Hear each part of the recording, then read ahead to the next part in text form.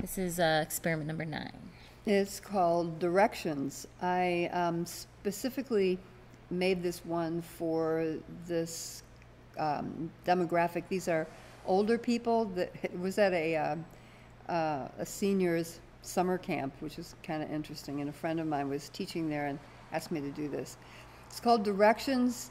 They're pointing to the um, colors on the game board, and I thought I would have them have a section where they're sitting and standing and moving towards their the direction of the game board.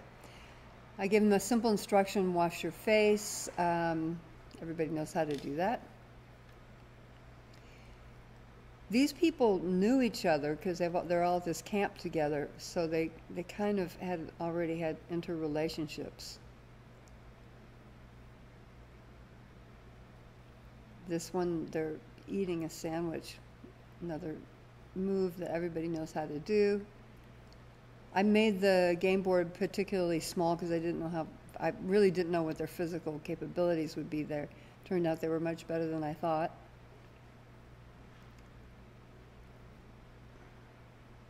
But that's a good example of how you can adjust. Exactly. You can adjust based on the age of the group. This one, I wanted um, one person to go to, at, to stand still at X and then the other person to circle them one time and then for them to leave. But as soon as she saw her partner, she she left, so the circle wasn't completed. But hey.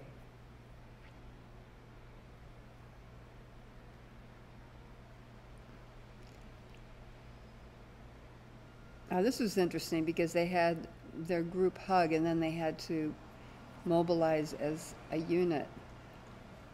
So you kind of have to figure out how that works.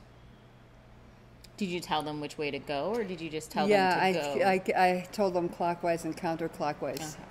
So it's getting more and more difficult to use that instruction because there are no Clocks. clocks with faces people, on them. Now they're having a little conversation because it's like, no, the color's over there. This is people who know each other before.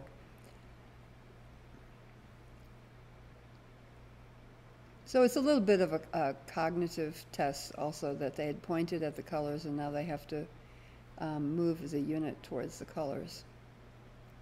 Remembering, Remembering, where, because some of them are facing backwards towards Ex- that color. Exactly, exactly. So it's really not intuitive at all. It's really not obvious.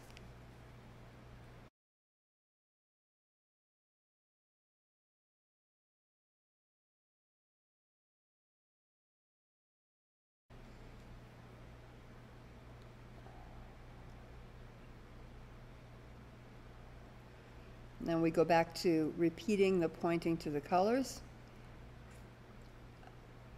And we have this little relationship where they tap their person's on their side's shoulder, but they disagree on which direction to go. And the tapper goes, Well, I don't know.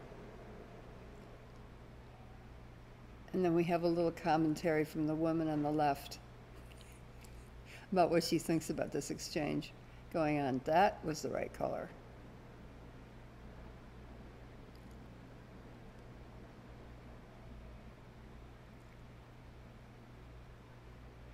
Um, no, we're not going anywhere.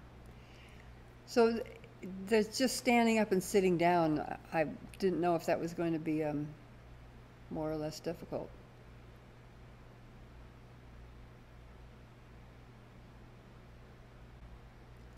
So what you have going on here is kind of a discussion, an agreement, and a disagreement of that color. Oh no, this color. Let's go to that one. Yeah, this direction, that direction, yeah, of where where we ought to be going.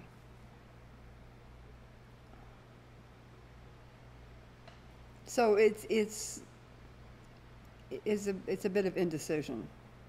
Now I was told that that um, these people in particular like to drag chairs around. I don't know why, but um, I thought I would incorporate some chair dragging into the Choreography of the piece. yeah exactly.